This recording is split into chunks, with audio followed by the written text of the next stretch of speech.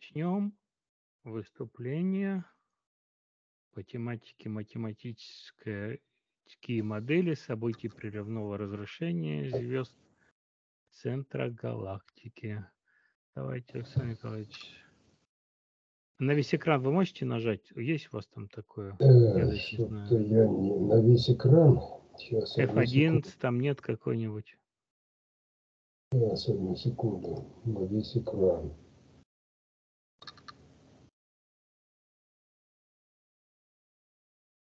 Такой сеттинг.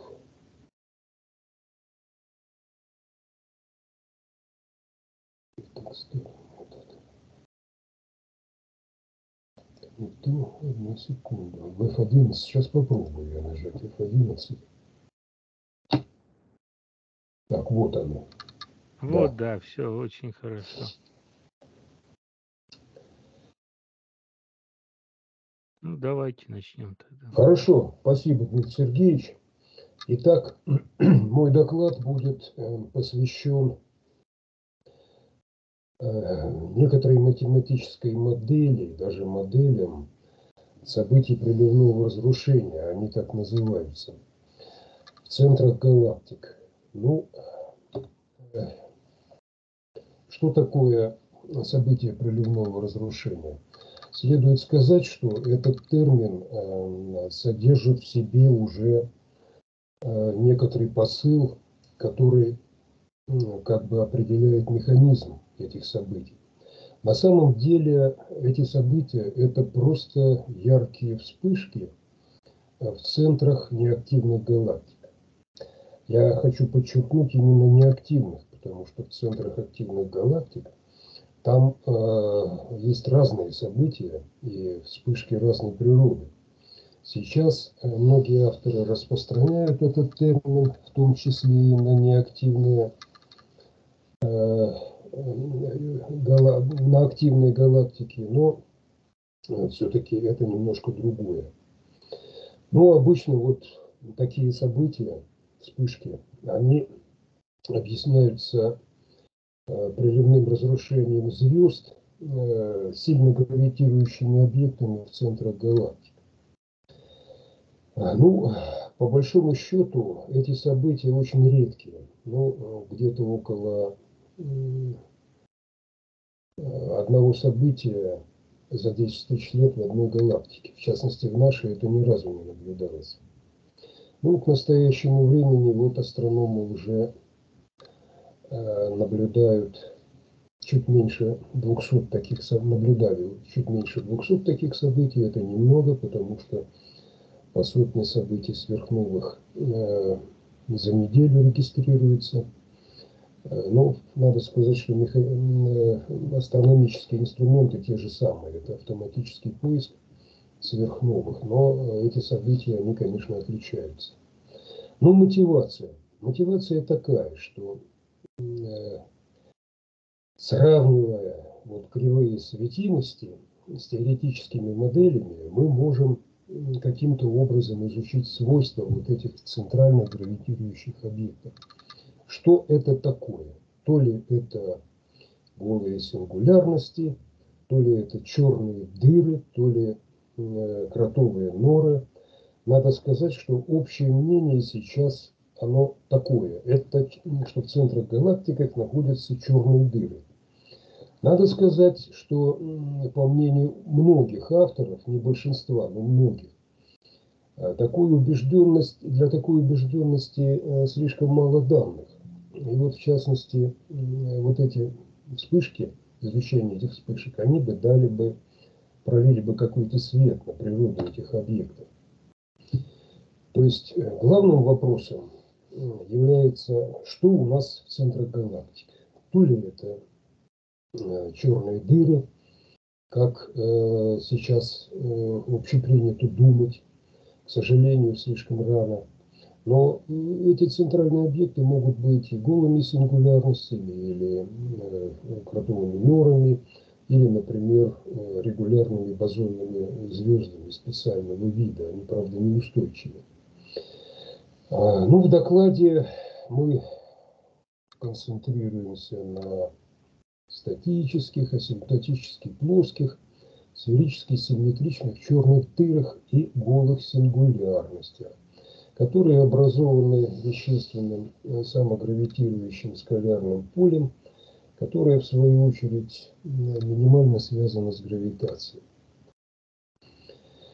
Ну, выбор этот продиктован двумя обстоятельствами. Во-первых, э, две конфигурации, а именно черные дыры и голые сингулярности, э, которые образованы гравитирующим скалярным полем, они могут быть изучены одним и тем же способом э, с математической точки зрения. А кроме того, вторая причина – поведение вещества, барионного вещества в центральных регионах голых сингулярностей со скалярным полем, оно, вообще-то говоря, дает альтернативное объяснение вот этим событиям. То есть они, даже если они связаны с приливным разрушением, все равно природа вспышек, она будет другой. Это как будет, как будет видно ниже. Я хочу подчеркнуть, что э, ссылок, никаких ссылок я не даю, потому что столько, в том числе и на наши работы, потому что их столько, что э, сделать из них даже какую-то более-менее равновесную выборку невозможно. Их очень легко найти, все эти сотни работ, посвященных этим вещам, но в том числе и а, работ, которые а, посвящены развлечению между голыми сингулярностями и черными дырами, в частности, работы, относящиеся к теням, так сказать, к изображениям черных дыр и голых сингулярностей. Ну вот, в частности, индийский математик Джоши, мы как-то с ним переписывались, он, в частности, тоже опубликовал работу, касающуюся вот этих теней, и показал, что вовсе не обязательно, что те изображения, которые сейчас получены и для М87, и для нашей галактики, Э, стрельца со звездочкой, они могут быть, могут иметь место и для голых сингулярностей. Так что, в общем, уверенности в этом нет. Ну, э, все-таки я хочу поподробнее описать модель. Вот э, действие 1, оно определяет эту модель. Значит, что в ней э, основное? Это, конечно, скалярный мы рассматриваем, как уже было сказано, сферически симметричное пространство-время. Это значит, что вот это действие, оно э, определяет геометрию пространства-времени вне центра. В центре может быть какая-то масса. Пусть это будет э, какой-то, э, или это будет э, горизонт событий черной дыры, или это какая-то реальная э, квантовая масса, какое, какое, какое-то квантовое вещество, которое сидит в центре голой сингулярности.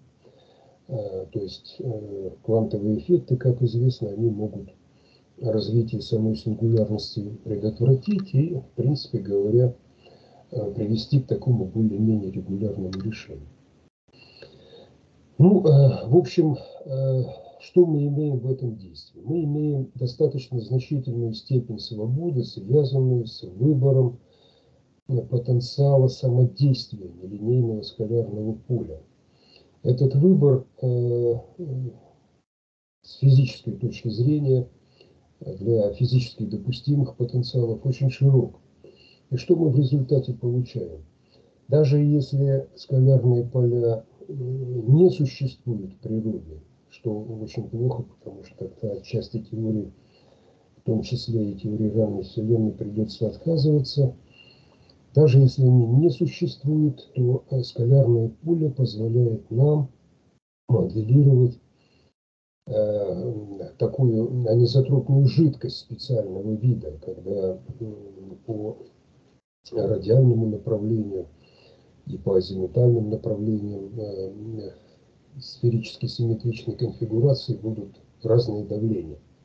То есть жидкость анизотропная. Так что, в общем, в любом случае мы это можем. А преимущество в том, что мы можем получить точные решения, математически точные. Ну, э, во-первых, метрика, ее удобно записать в виде 2, где все метрические функции, а также поле э, зависят только от радиальной координаты. Ну, асимптотические условия стандартные. В асимптотике решение должно совпадать с решением Шварцшильда, а поле должно достаточно быстро стремиться к нулю, скалярное поле. Так что э, синтетические условия 3, они вполне себе понятны. А что является основой модели? Основой модели являются, конечно, для метрики 2 уравнения Эйнштейна, Клейна, Клейна Гордона. Э, Клейна Гордона Фука надо было бы написать. Э, их всего три, эти уравнения. После того, как мы примем во внимание тождество Бианки, то в сферически симметричном случае остаются только три независимых уравнения для трех, конечно же, неизвестных функций f малое, f большое и, соответственно, поле φ. Ну, метрическая функция которая определяет, что это будет там сингулярность или черная дыра, она по формуле 2, вот по второй формуле 2 определяется. Э, степень свободы у нас вот в уравнении 5 справа сидит. Вот это, собственно говоря, вот три уравнения, всего система четвертого порядка. Замечательно, что она может быть специальным методом разрешена в квадратурах. Вот этот метод, он, э, мы его называем методом восстановленного потенциала. Авторы этого метода, они независимо получили, пришли к нему, это э, Лихтенфельд, а также Бронников и Шикин. Вот, они независимо этот метод развили, они называли его методом метод обратной задачи, инверс проблем метод. Но поскольку этот термин он в другом месте задействован, то все-таки, наверное, метод восстановленного потенциала как-то более э, убедителен. Ну вот э, с помощью этого метода э, наш коллектив получил вот такие квадратуры 6-8, э, где метрические функции – Э, находится по заданному полю. Или функция большое, или функция xi малая, э, таким образом, что потенциал 8, он восстанавливается вначале как радиальная функция. А затем, ну, поскольку поле, например, задано, то мы можем э,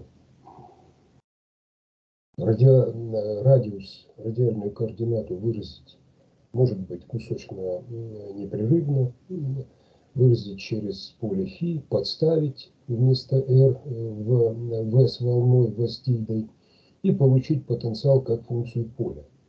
Это вот нам позволяет, важно отметить, что э, любое решение этим квадратурам должно удовлетворять. Вообще любое, то есть если мы задали изначально потенциал, и у нас получено решение, то эти квадратуры будут удовлетворяться. Ну вот, э, для э, двух метрических функций они должны, это прямо из квадратур следует, должны выполняться условия 9, из которых, в свою очередь, следует, что мы можем поступить следующим образом. Выбрать некоторую функцию кси которая строго монотонно возрастает. Она выпукла вниз. Это обязательная вещь. И в таком случае мы по следующей схеме действуем. Из функции кси простым дифференцированием кси мы находим функцию e в степени f. Отсюда После интегрирования Кси у нас есть, Е в степени F есть, М это у нас, э, как будет видно, Шваршильдова масса, которая на бесконечности определяется по орбитам, по орбитальному движению. Интегрированием находим А, а затем функцию f, ну, как и положено из формулы 7. Чтобы найти поле и потенциал, берем вот функцию e в степени f, э, то есть производную xi, находим f, из f, так, из f находим фи штрих, это большой штрих наверх, отсюда интегрируем фи, потенциал как функцию ради, радиальной координаты и потенциал как функцию поля. Вот такая стратегия для получения решений и моделирования конкретных решений. Ну вот теперь надо поподробнее посмотреть, когда у нас получаются черные дыры, а когда получаются голые сингулярности. Для этого надо просто рассмотреть квадратуру для метрической функции а. И мы видим, что на самом деле тип решения определяется только двумя параметрами. Это Шваршильдова масса и значение функции xi в начале координат. А функция xi, она полностью регулярна, она, так сказать, э, в этом отношении очень хорошо задана, на бесконечности она э, стремится асимптотически к радиальной координате, а в нуле к конечному положительному значению. Ну вот черные дыры когда получается? Когда кси от, кси от нуля меньше 3m. Почему? А потому что в этом случае, вот в этой квадратуре, числитель становится отрицательным, и когда r стремится к нулю, то а будет стремиться к минус бесконечности. Так, у меня тут ошибочка. R стремится к нулю. А, коллеги, обратите, пожалуйста, внимание, тут, тут у нас R стремится к нулю. А, посредством а, копипаста все это делал, а заменил на R, а бесконечность на ноль забыл. Значит, R стремится к нулю. Так вот, когда R стремится к нулю, а стремится к минус бесконечности, если выполняется условие кси от нуля меньше 3m. Ну, соответственно, если кси от нуля больше 3m, то мы получаем голую сингулярность. Здесь, конечно, также R стремится к нулю, потому что в этом случае под интегральное выражение оно все время остается положительным. Ну, кроме того, если мы не рассматриваем этот случай, он требует тонкой настройки. В случае xi от нуля равно 3m это может быть регулярное решение. Вот. Э, может быть черная дыра или голая сингулярная, в зависимости, э, в зависимости от того, как скалярное поле вблизи нуля себя ведет. Ну вот, Э, конкретный пример, чтобы дальше не э, слишком абстрактно не поступать. Ну, во-первых, вот из квадратур э, сразу следует, что кси ведет себя вот таким образом, вблизи нуля. То есть кси от нуля вполне себе конечная величина, а на бесконечности кси вот асимптотически к радиальной координате стремится. Мы вот такой ансац выбираем – он просто самый простой, но тем не менее он э, отражает качественно э, поведение практически всех решений. Нас интересует в основном функция А. Э, для функции e в степени f и для поля φ можно для в степени f точные решения и для а точные решения, просто оно несколько громоздкое, поэтому я вот ограничился тем, что выписал асимптотическое поведение этих функций на бесконечности. Таким образом, на бесконечности Шваршильдова асимптотика. А вблизи нуля мы видим, что если А у нас оказывается ну, э, больше, чем 6m, э, то в этом случае, а дальше мы m полагаем равным единице, то есть, попросту говоря, фиксируем единицу длины, э, равную массе конфигурации центральной, всей конфигурации. Так вот, если А больше 6, мы, конечно, получаем голую сингулярность. А если А меньше 6, это будет очевидно, конечно же, э, черная дыра. Вот при таком ансатце мы, так сказать, я все не рисую это, понятное дело. То есть вот получаем так, такую а, метрическую функцию А, которая определяет тип конфигурации. Ну вот, на этих графиках стоит остановиться на, поподробнее. На левом графике у нас метрическая функция А для четырех конфигураций с одной и той же массой. Мы ее полагаем равной единице, то есть, как я уже сказал, фиксируем единицу длины. Это значит, что, э, в общем-то говоря, мы э, имеем тонкая черная линия – это решение Шварцшильда. Здесь радиальная координата равна двум. Радиальная координата равна двум. Так, прошу прощения. Так, радиальная координата, радиальная координата равна двум. Так что э, вот это у нас Шваршильдова метрика, функция А. Дальше красным жирным у нас показана черная дыра со скалярным полем. Мы видим, что радиус горизонта тут существенно меньше.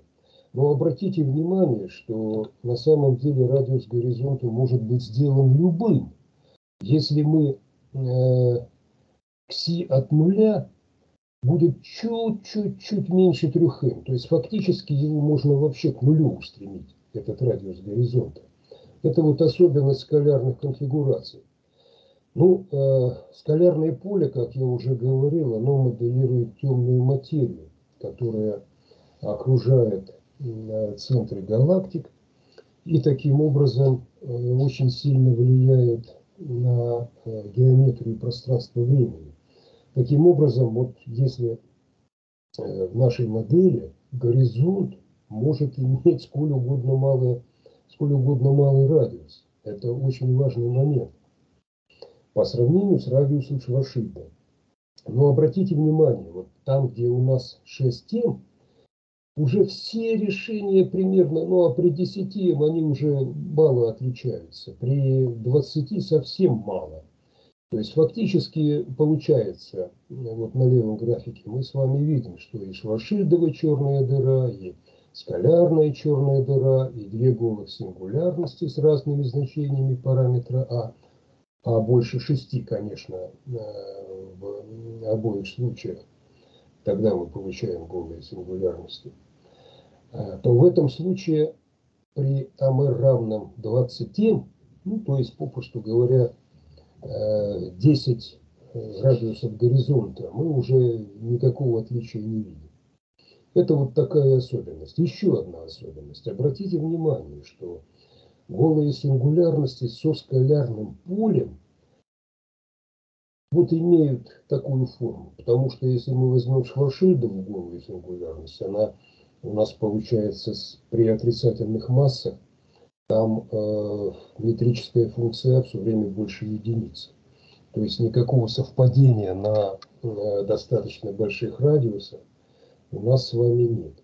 Я хочу заметить, что на самом деле э, вот для э, Sagittarius A там, вот, для Стрельца нашей черной дыры или голой сингулярности в центре галактики, мы на самом деле имеем более или менее качественное наблюдение только для тысячи радиусов э, Шваршильда, то есть тысячи радиусов горизонта. А ближе пока еще, ну, будем надеяться, что лет через 10 это будет. Обратите также внимание на то, что голых сингулярностей у нас с вами минимум есть у метрической функции А. Что это значит? А это значит, что поскольку эффективный потенциал для э, массивных падающих частиц он пропорционален метрической функции, то э, при э, моменте импульса частицы равном нулю мы получаем, что у нас с вами эффективный потенциал покоящейся частицы имеет минимум. Я не стал выписывать эффективный потенциал, потому что он, в принципе говоря, такой же, как в ньютоновском случае, только здесь, то есть это единица, э, там э, плюс J, э, вот этот J, момент, удельный момент импульса J в квадрате поделить на R в квадрате, так, извините, R в квадрате ну, если g равный нулю, то эффективный потенциал в точности совпадает э, с метрической функцией. Вот какая получается история. В случае черной дыры это радиальное падение, однозначно. Тут никакого, э, никаких вариантов нет. А в случае горлой сингулярности мы имеем радиальное падение до тех пор, пока частица не начнет, ну, условно говоря, вот, э, двигаться вот в этой потенциальной яме, которая определена вот этой самой метрической функцией. С течением времени, конечно, за счет столкновения и тому подобного, э, все частицы соберутся на дне потенциальной ямы, и у нас получится такое кольцо, которое э, минимум потенциальной ямы имеет максимальное давление – а на краях более-менее свободно. Но тем не менее частицы, они все вот, ну что-то типа нашей атмосферы, потому что у нас плотность у Земли большая, а наверху нет. Ну только здесь будет она вот так симметрична относительно стенок ям. То есть вот такое притяжение. Ну вот здесь на правом графике показаны э, э, эффективные потенциалы для разных значений э, удельного момента импульса частицы для черных дыр и для голых сингулярностей. Ну вот для голых сингулярностей они вот тоже такие. Для черной дыры у нас тоже есть минимум э, эффективного потенциала. Вот он здесь показан. Но он достижим только при не нулевом моменте импульса. Это значит, что при э, таком моменте импульса и при таком радиусе частица будет двигаться по круговой орбите вокруг притягивающего центра. Покоиться она не будет. А здесь, поскольку угловой ну, момент импульса нулю равен, получается, что частицы здесь покоятся. Они образуют такую сферическую оболочку. Это газ, э, обломки звезд, ну, остатки звезд там, ну и тому подобное. А может быть и что-то твердое, потому что оно вполне себе устойчиво удерживается. А самый нижний синий график справа показывает последнюю устойчивую орбиту. Это там, где эффективный потенциал имеет точку перегиба, и дальше уже минимума нет. То есть это внутренний край аккреционного диска, который, собственно говоря, и считается причиной э, вот этих вот э, событий приливного разрушения, в которые, по мысли э, авторов этой модели, врезаются остатки разрушенных приливными силами звезд, и, соответственно, они вызывают вспышки. Ну, в принципе, модель вполне жизнеспособна. Ну, еще приведу графики э, приливных сил. Вот приливные силы, они по стандартной формуле. P – это тензор приливных напряжений – и мы видим с вами, что есть некоторые отличия. Во-первых, в направлении этих сил. Условно говоря, если обычная звезда, звезда главной последовательности, ну типа Солнца, начинает приближаться к черной дыре, то она вытягивается в некоторую такую э, фигуру, подобную, ну, игле, не игле, но вытянутому сфероиду, который, собственно говоря, в дальнейшем начинает разрушаться. Если же мы говорим о голых сингулярностях, там все наоборот. То есть там э, звезда при приближении вот, к притягивающему центру, она начинает э, сплющиваться э, в радиальном направлении. Таким образом, это, она при, приобретает форму некого блина, который э, касателен сферам, окружающим э, притягивающий центр, голую сингулярность.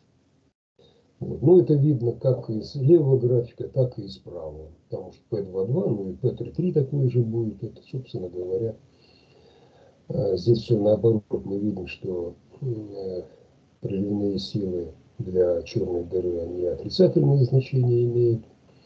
То есть, попросту говоря, в поперечном направлении касательным сферам звезда будет сплющиваться, а у новых сингулярностей наоборот, она будет растягиваться в этих, в этих направлениях. Ну и, наконец, вот, собственно говоря, главный вывод. Да, я, э, статья по результатам, которой это все делается доклад, она скоро будет опубликована в журнале Universe.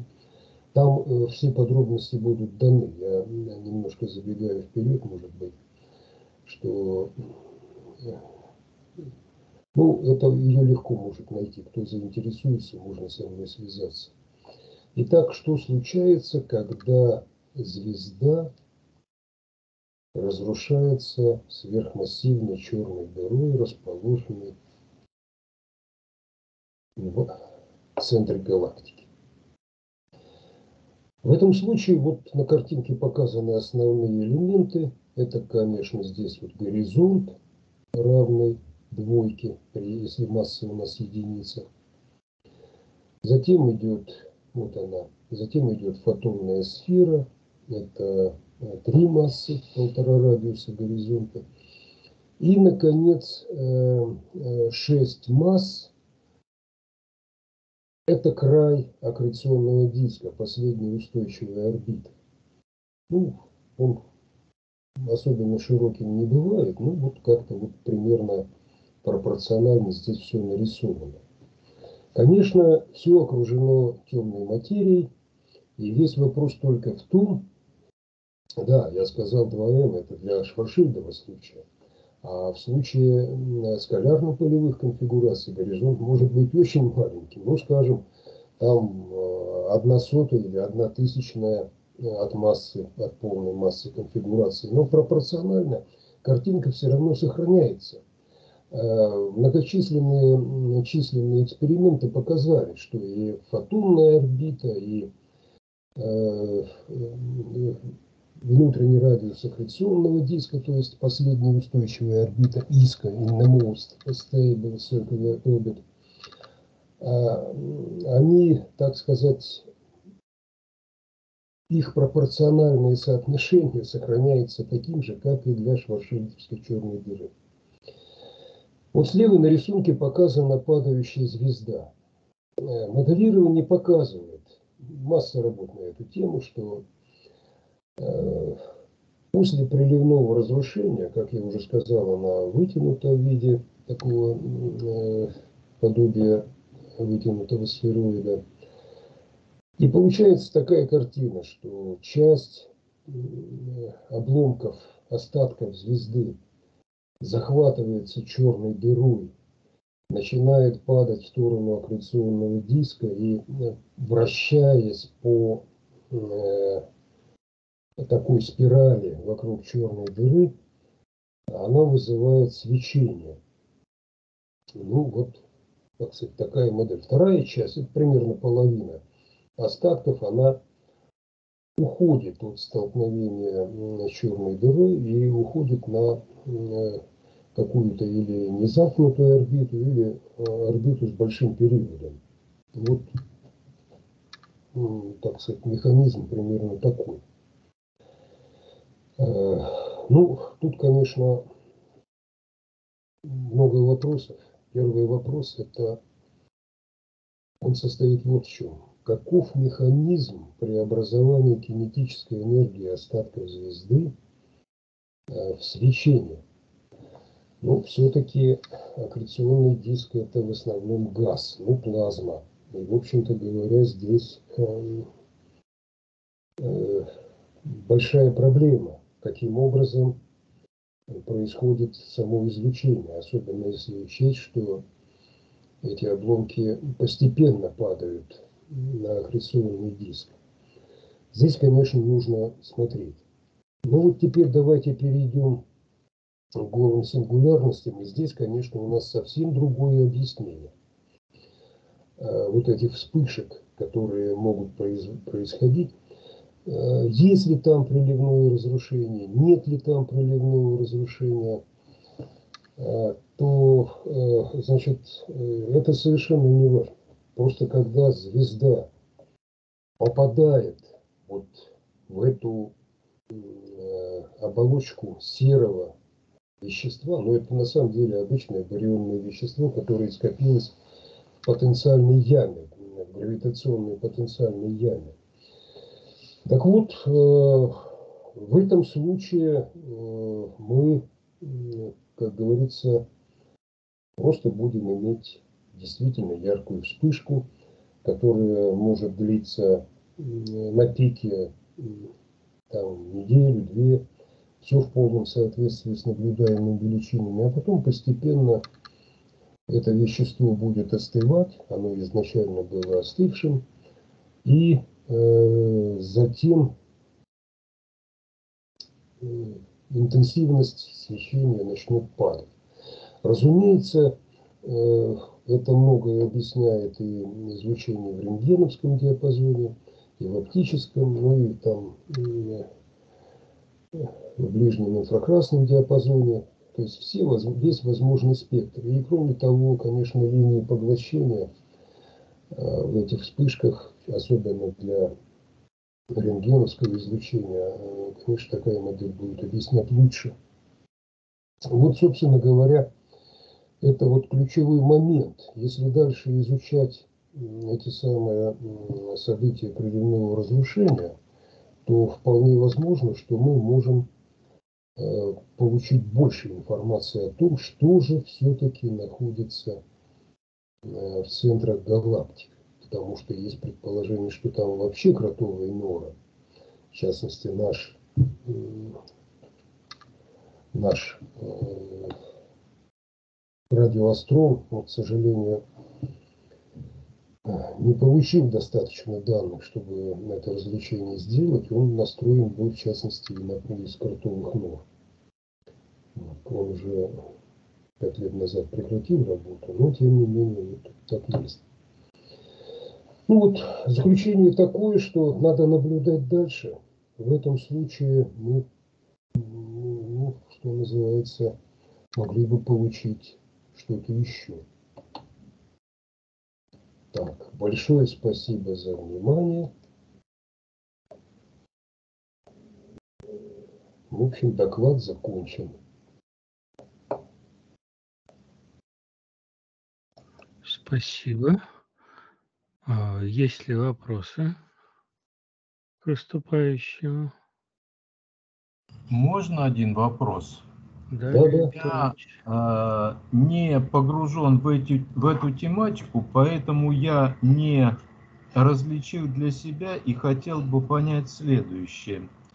Э, вот модель, включающая черную материю – она получилась из первоначального предположения или как следствие каких-то других рассуждений стала неизбежной?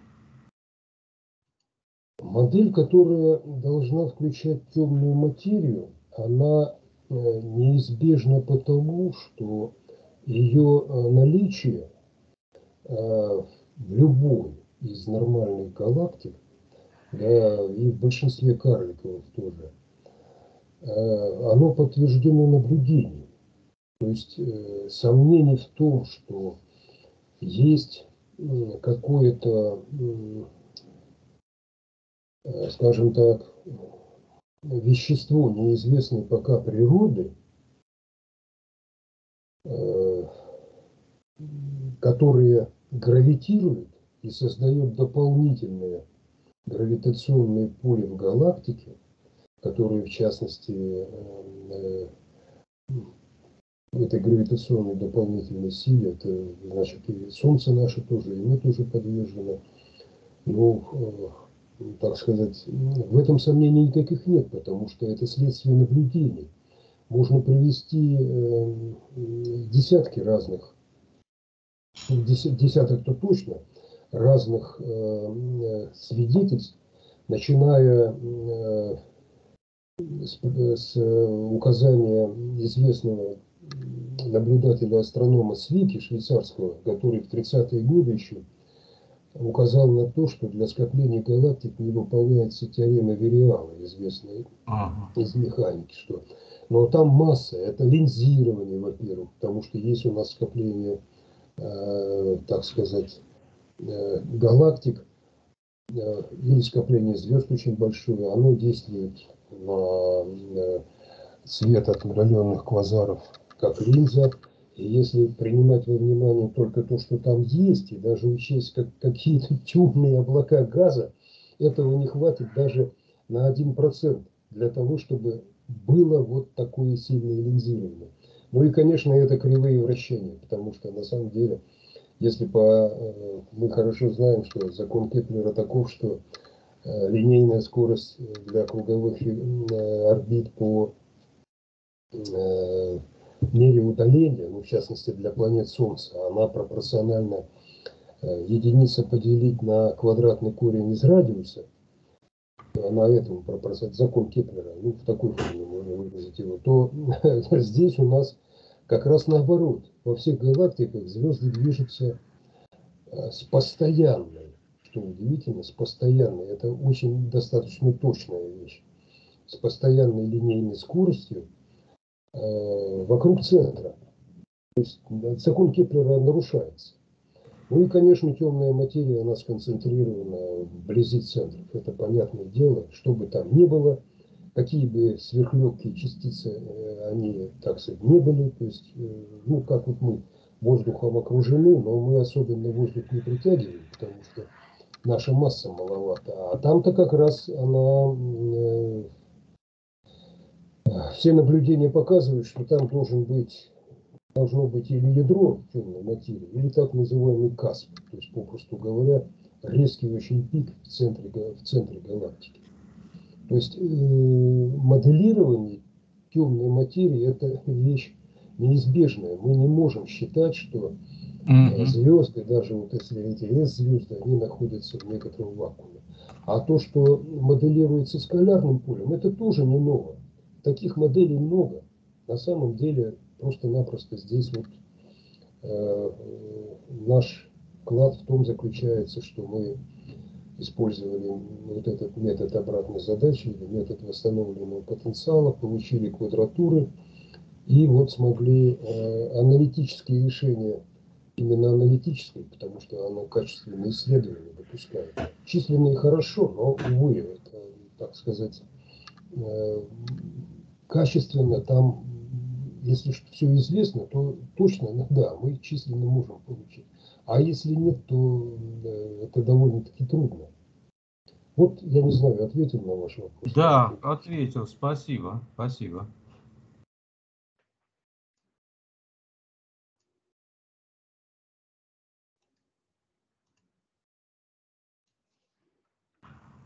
Спасибо. Есть ли еще вопросы?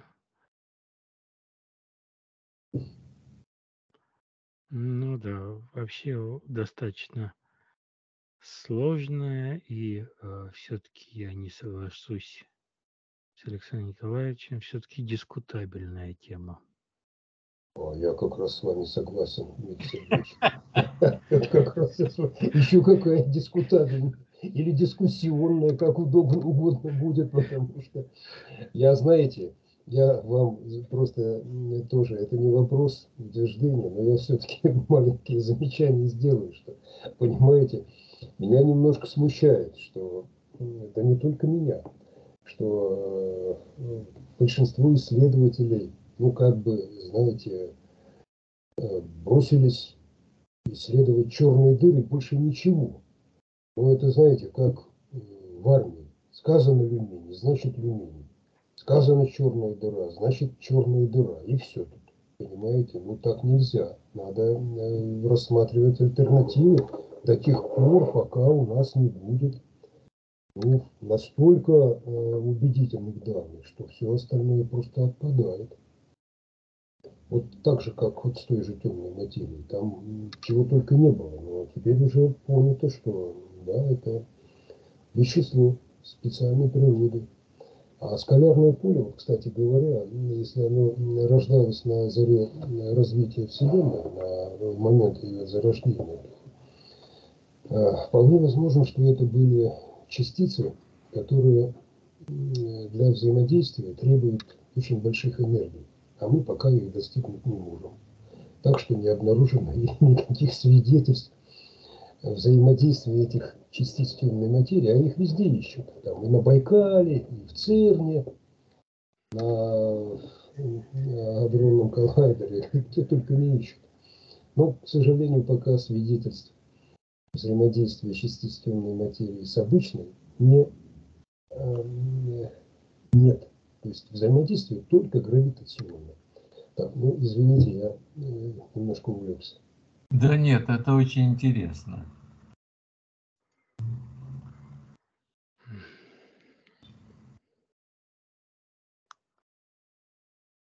Ну, даже ничего и сказать не смогу я. Ну а что, очень интересная тематика. И очень интересная. Очень интересная, но я все-таки... Ты больше консерватор. Пойду по стопам 19 века. апостола Фомы,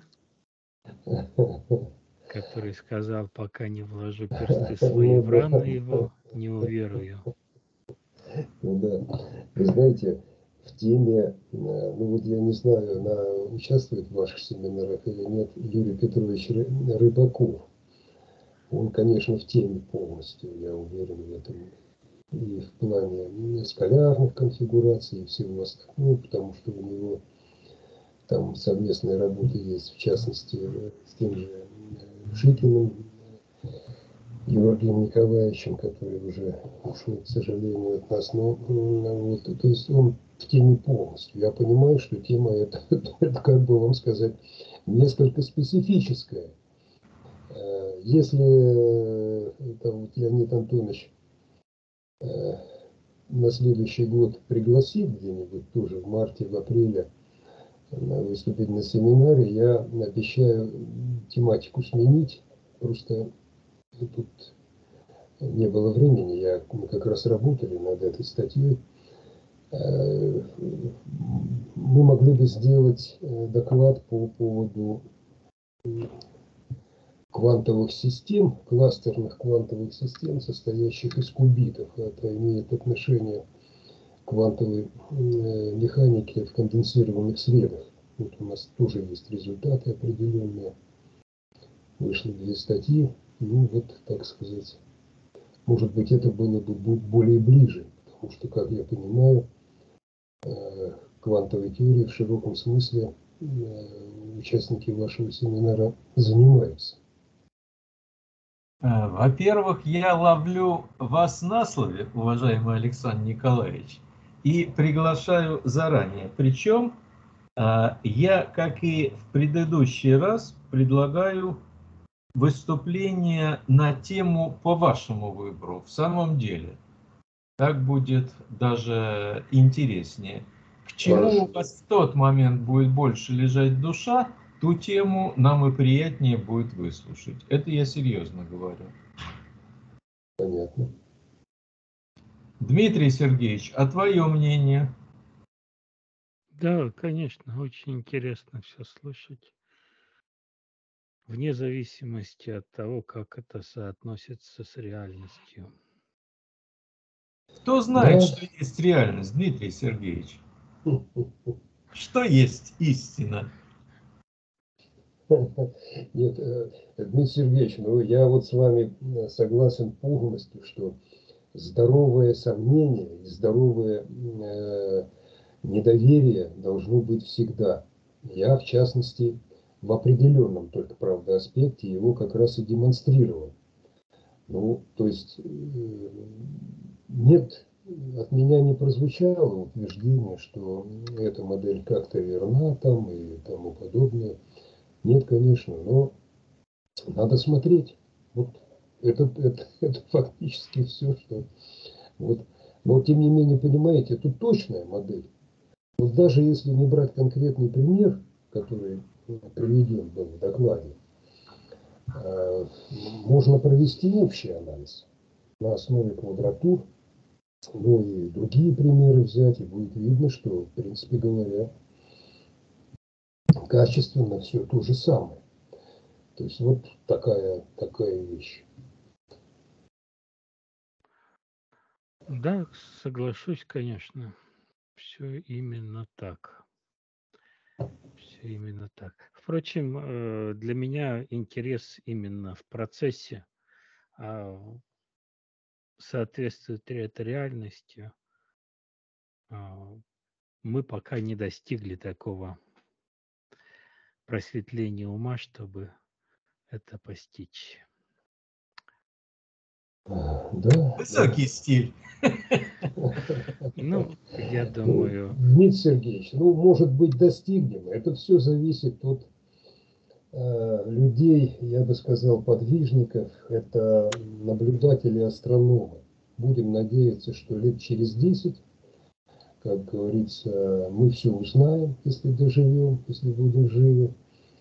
Э, Потому что развивается все очень быстро. Очень быстро. Мы И с даже можем- неожиданными поворотами, главное. с- Да, и с неожиданными поворотами. Ну, та же темная материя. Те же вот эти, ну, понимаете, это вообще удивительные вещи. Просто удивительно. Конечно, это всего лишь за какие-то 30 лет произошло. И там и природа большого взрыва более-менее уже, она прояснилась до самой-самой-самой такой вот, ну, скажем так, хотя бы до одной секунды. Там дальше это уже спекуляции определенные идут. Не знаю, но, так сказать, тем не менее, да, это вообще удивительная вещь, удивительная. Вот и посмотрим, что дадут наблюдения. Кстати, сейчас у нас э, запущен же проект э, Спектр РГ, который будет так же, как Радиоастрон. Это наш проект. Там коллаборация, но э, Россия, она главенствующую роль играет. Там еще входят немцы, венгры, голландцы, немножко французы, итальянцы. В общем, такая вот коллаборация. И в рентгеновском диапазоне будет делать то же самое, что делал радиоастрон в радиодиапазоне на миллиметровых волнах. Так что будем надеяться, что скоро мы и у нас тоже получим какие-то результаты. ну да, только на это и остается уповать. Нет, нет, не только на это. Любое исследование моделей, всегда приближенных, но реалистичных, это один из путей развития. Недаром наш семинар называется математическое моделирование, а не просто ожидание экспериментальных наблюдений. Вот здесь я все-таки уточню ваше, Дмитрий Сергеевич, суждение. Прошу прощения. Да, да, все так, несомненно. Ну, я думаю, можно на сегодня уже завершать нашу научную дискуссию. Да, большое спасибо. Большое спасибо. Взаимно, коллеги, большое спасибо за внимание. Всего вам доброго. До новых встреч, как говорят. До свидания. Да. До свидания. До свидания.